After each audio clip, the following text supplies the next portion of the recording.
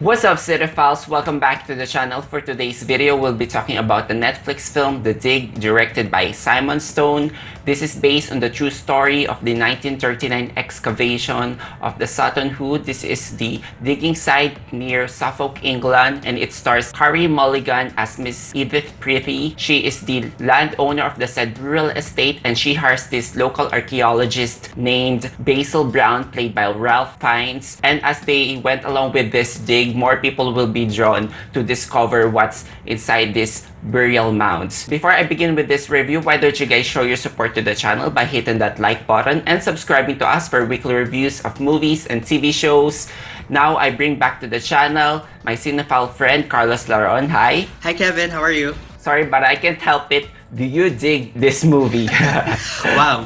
Well, that's no pun intended there. First, I found this movie to be gorgeously and delicately shot. Very tasteful in its storytelling and actually if there's a word for it I would say it's very British meaning lots of shots with the landscapes and not a lot of dialogue but there's so much being felt and said in the scenes. It had all the right elements of a proper period piece set in mm-hmm. 1939 near World War II. I would say that it's very niche because on the surface it might not be interesting at all to a regular moviegoer because the core of this film is about a real life excavation slash archaeological dig. So it's very specific, right? But yeah. Uh, to me, that's just one slice of the cake because as the movie goes on, it offered more other themes uh, like having passion for something bigger than yourself and building legacies for the future generations, to name a few. In that case, I dig it very much. Same for me because I love watching British shows. I've been watching shows like Downton Abbey, mm-hmm. and this one is very much on the same vein. People are very amicable. The servants are all chummy chummy with their masters. I guess this is some sort of uh, comfort food, British comfort food, you know. And I know uh, uh, not a lot of people will be drawn to this subject matter because, as if you said, an archaeological drama, and we don't really get much. Mm-hmm. And I'm just surprised that they managed to draw a lot of drama and story out of this historical event, which is basically moving south from one place to another. Yeah, I have to agree with you because this movie goes into a philosophical route. It's not the physical digging mm-hmm. only itself, it's more of the psychological dig that happens with these characters. And I've said earlier, more characters will be drawn here. But before I go with the other characters, I think let's just talk about first our main characters. So we have here Carey Mulligan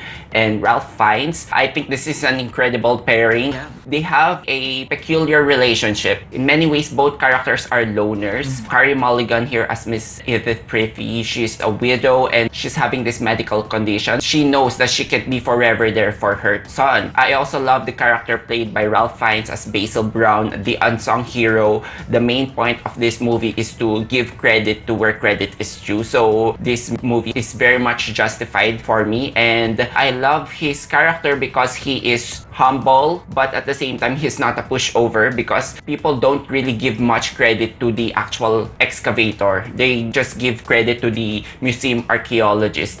And in here, some people tend to look down at him just because he didn't come from an Oxford school. He's more of a self-taught person. And I just love that both of these characters, through this journey, they both help each other in many ways. So, yes. yeah. Um, true. I agree with all that you said. I'd be lying if I tell you that I watched this for any other reason than Carey Mulligan, you know? She had been getting a lot of praise in the movie Promising Young Woman, which I'm still having flashbacks from, to be honest. I just knew that I had to watch another performance from her because, as she proves in this movie yet again, she's very understated. Her craft in acting is not like anyone else's. She is in a league of her own. She's just really mesmerizing to look at on screen. Of course, she this film together with Ralph Fiennes, who is always transforming in any role he's given. Their chemistry is definitely strong. It's a peculiar type of relationship, more like a mentor mentee, not romantic, but I almost wish it was romantic to get some sort of scandal there, but everything that you said worked for them in the way that they portrayed the rules. I think it was hinted on the first act of the movie that there's some sort of a thwarted romance,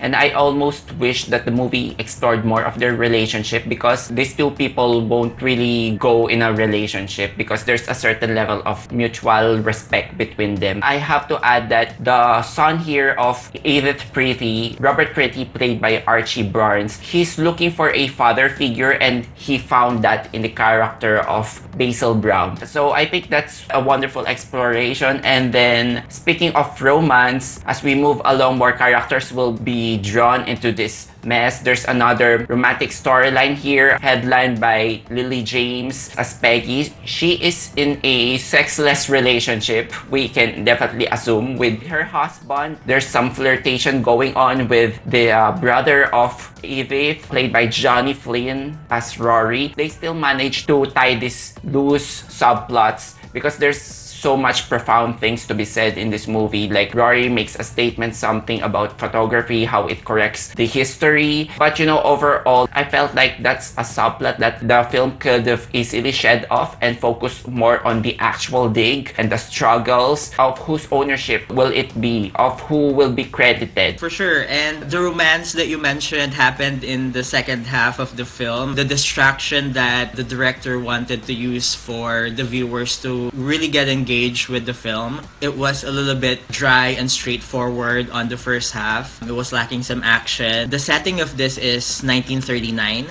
and they're on the brink of World War II. So you would yeah. expect that something like this would be tense. It would have that different feel than the one presented in the film. It's pretty compelling in the sense that the characters and their relationship dynamics are very solid. Someone worth mentioning is the character of Ken Stott, the mm. one who played Charles Phillips. He is is the epitome of really snobby and bossy man. I really enjoyed his mm-hmm. acting.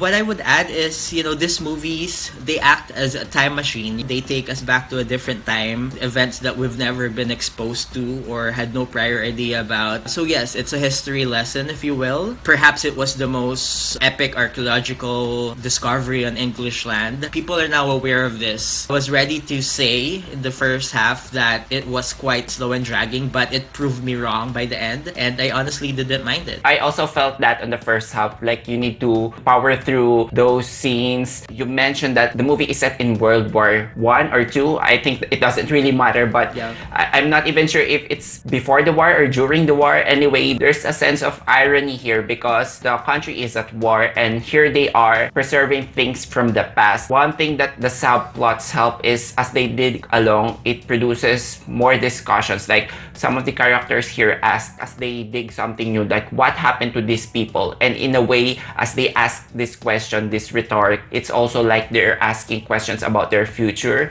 So yeah. I think that's a wonderful food for thought. I have to add that there's a sublime sense of mortality. When you see this burial site, it doesn't matter if you were a rich person or a poor person, you all end up in the dirt. Yeah. And that's what's going to happen to them. Above the sky, you can see the fighters risking their lives, doing test runs, I believe. So that's another sense of impending death. And then I just have to add that the kid here, played by Archie Barnes, that kid really grew on me while yeah. watching because towards the end, there's something profound that he really said. It's some sort of a metaphor that he's coming into terms of the impending death of a loved one. So I think that was wonderful. And another food for thought. Basil Brown mentioned that from the first human handprints, we are all part of something continuous. So you don't have to look at this mortality from a gloomy aspect. You're all part of something that don't really die. So I think that was wonderful. Uh, yeah. Yes, exactly. Like I felt that wave of sadness in me because there were a few scenes where Edith and Basil were talking about the past and the future. So basically, life and death. Something inevitable for all of us. We don't live on, says Edith, because the circumstances that she was given, thinking about her son Robert, what the future holds for him without her. Then Basil mentions that we are part of a continuous journey. The connections and the legacies we leave behind are important. The discovery of something in the past holds something really important in the future for all of us. So, yeah, I like my movies like that, not just for entertainment value. It makes me contemplate about the things that matter in life. To me, that was the highlight of the film, the message that it shares with everyone. To wrap things up, I just want to say that I also love the cinematography of this movie. The movie presented this hazy afternoons, these misty fields. The weather very much Yeah. played a part in the struggle of these people. This movie is very modest and I think it kind of works for and against Yeah. that movie. I'm going to give this a 4 out of 5. I just wish that they played more on the drama behind the excavation of the Sutton Hoo. I'm pretty sold by this. And one thing that I really liked as well was the cinematography and Ah, the wardrobe, the costumes. They really did the research there, and Carey Mulligan's character was wearing all the amazing dresses, and her pants are always, you know, stylish. For a rich woman, she is very stylish. And as well as the excavator, Basil Brown, were very hmm. dapper clothing. I took notice of that. With all things considered, to me, this is a 3.5 out of 5. There were things that worked and things that didn't work. I would recommend this to anyone I know. Just power through it, and it's very much worth it by the end. Yeah, So, I'm really yeah. excited to see Carey Mulligan in Promising Young Woman, which I have yet to see because in the You trailer she's very different from here and that really speaks a lot to her range as an actress. I guess that's it for our review for the Netflix film The Dig, directed by Simon Stone. Let us know what you think in the comment sections down below. If you enjoyed watching this video, hit that like button and subscribe to us for weekly content. Carlos, thank you once again for doing this with me. Thank you so much. Thank you guys for watching. Until then, see you on the next one.